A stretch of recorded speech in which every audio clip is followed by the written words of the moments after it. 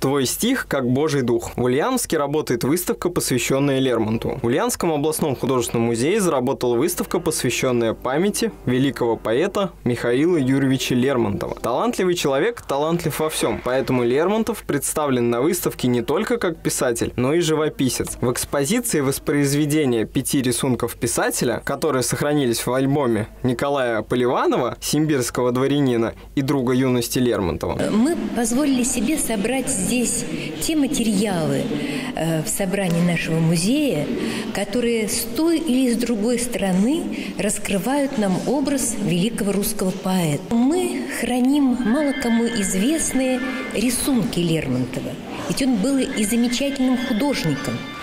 И несколько лет назад э, в нашем э, Поливановском так называемом альбоме были раскрыты рисунки Лермонтова. Также на выставке представлены иллюстрации русских художников-графиков к произведениям Лермонтова. Мастер гравюры Федор Константинов создал серию ксилографий к романтической поэме «Цири», а сложный замысел поэта в драме «Маскарад» нашел воплощение в серии гравюр Алины Галиховской. Также многих волнует тема «Бывал ли Лермонтов в нашем городе?». Об этом давно ведутся споры, поэтому в качестве экспонатов выставки организаторы представили портреты его друзей и людей, которые сделали многое для продвижения творчества. Критицы совершенно твердо считают, что бабушка Лермонтова, знаменитая Елизавета Алексеевна Столыпина, родилась у нас.